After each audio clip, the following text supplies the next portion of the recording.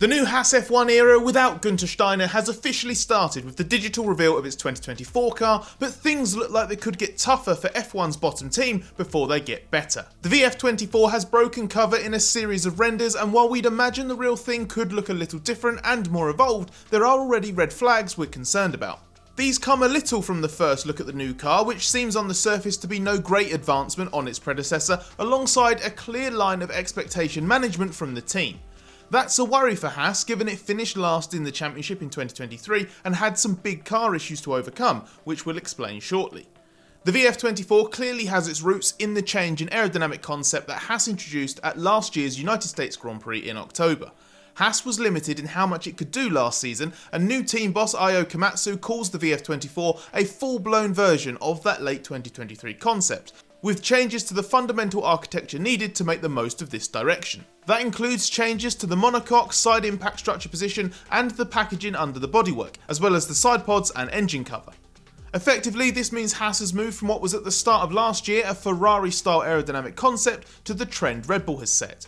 And before we get into Komatsu's surprisingly blunt outlook, which you'll definitely want to stick around for, let's take a closer look at the detail based on the 10 renders released by Haas. The images do show a clear evolution from last year's Haas, but there's always the possibility there will be features on the real car that are either missing or hidden for now, revealed when it first hits the track on a filming day at Silverstone on February 11th. As always, Haas has taken as much as it can from Ferrari. It has access to the latest specification transferable parts, meaning the mechanical package and much of what is under the skin comes from Ferrari, including the gearbox. It retains the pushrod suspension geometry at the front, the top wishbone rear leg chassis pickup is just visible in these images. As the race's technical expert Gary Anderson has noted, this indicates Haas has a fair amount of anti-dive in the front suspension.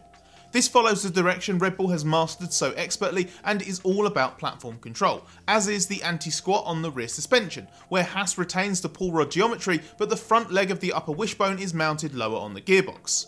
Key performance dictating components such as the monocoque and the aerodynamic surfaces must all be Haas's own work, and the side pod shape follows the Red Bull approach with an aggressive undercut.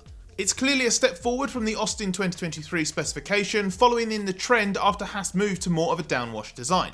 The engine cover bodywork has also been modified to work with this. We can't see much detail of the floor edges or the floor fences. However, we can see the outer floor fence, which has also been shaped to follow the Red Bull direction. That's logical given it interacts with the side pod undercut that is designed to allow greater airflow through this area. That should improve the performance of the front of the floor. There are also packaging changes here. To facilitate that undercut, the radiator inlets have been moved higher and widened slightly, creating more of a letterbox shape. Again, this follows the prevailing trend set by Red Bull. This inlet shape allows the top surface of the side pod to be optimised and allows the radiator spillage to mix with that airflow, which improves the efficiency of the front corner of the floor and also helps to seal the floor further rearward. Reducing the side pod cooling inlet means additional cooling is needed elsewhere. The rollover bar is very similar to the VF23 but limpet inlets have been added to the sides of this to increase the cooling flow in that area. We can also see signs of the monocoque change in the fact the lower side impact structure has been moved down.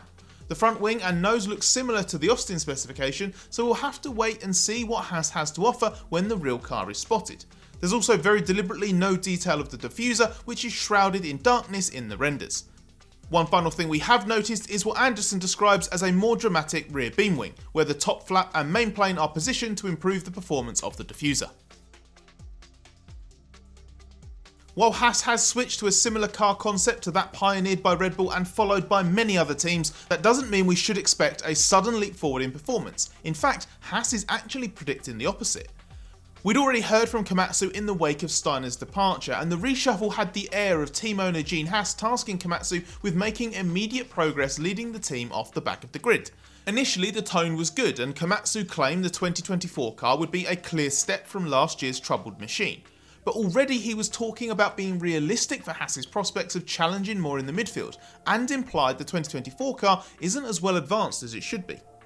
That's because the car concept was changed so late last year and resources were diverted to do that, and now Haas would need time to work out the best way to develop the 2024 car under new technical director Andrea De Zordo. Well now the VF24 has been revealed, Komatsu's not just doubled down on all of that, he's gone even more flat out. Komatsu says plainly that the launch spec Haas is not going to be quick enough in Bahrain as a direct result of stopping development on the VF24 for two months to get that Austin package together. He's not quite arguing that Haas shouldn't have bothered with that interim step and focused instead entirely on the 2024 car because he believes it did help confirm it was the right direction to go in, but it has clearly left Haas further behind versus where it could have been had the VF24 been its sole focus in the second half of 2023 and Komatsu's hopes are so low that he reckons Haas will probably be the worst team at the start of the new season. That means the focus on testing and the first race in Bahrain is going to be to get as much data as possible to work out which direction to develop the car and really understand its strengths and weaknesses.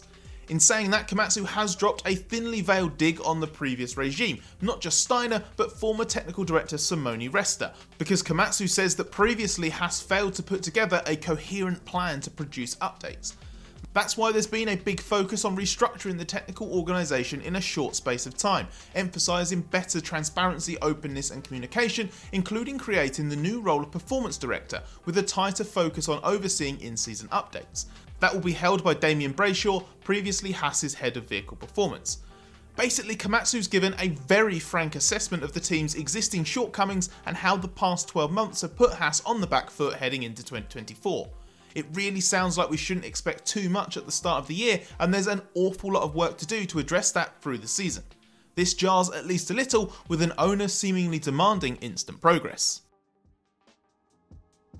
The Haas VF23 was a quick car over a lap, reaching Q3 11 times last year. Nico Hulkenberg was even second fastest in qualifying in the wet in Canada.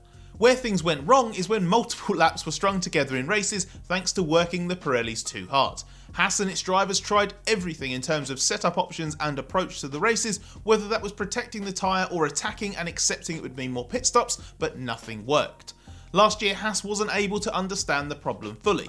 At first there were suspicions it could be related to the mechanical package given Ferrari also had tyre troubles and supplies Haas with its suspension systems. However, it increasingly became clear the problem lay with the car's aerodynamic characteristics. Specifically, the loss of downforce when the car was in yaw, i.e. when turning, led to inconsistent levels of aerodynamic load. That was overworking the tyres, but Haas needs to show it's understood the reasons for the problems in yaw. Haas took drastic action last year to tackle this. Its aerodynamic development in the wind tunnel flatlined in the early months of the season with negligible performance found.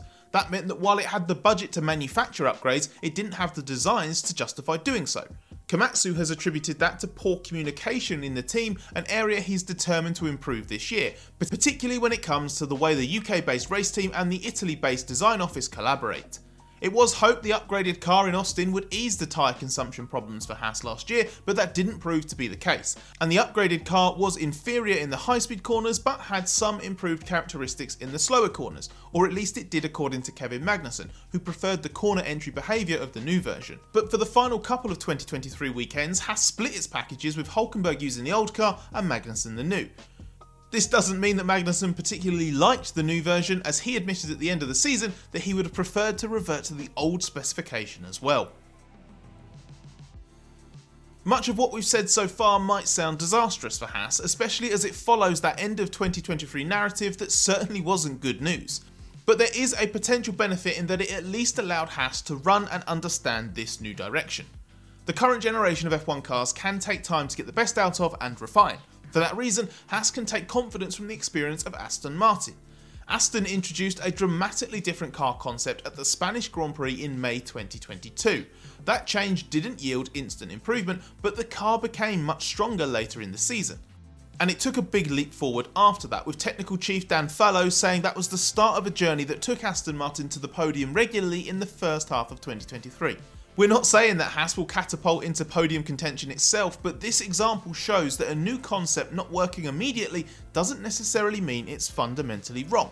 So while Komatsu has reservations about where his own team will start 2024, the work Haas has done in the last few months is about giving it a better base to build from, and maybe reverse its usual trend of starting brightly before fading. Haas's key 2023 lessons will have been fed into this 2024 car and the ongoing development plan. The question is whether or not those lessons have been well understood, and what's realistic to achieve once we know if Haas's pessimism for its place in the pecking order is confirmed in reality.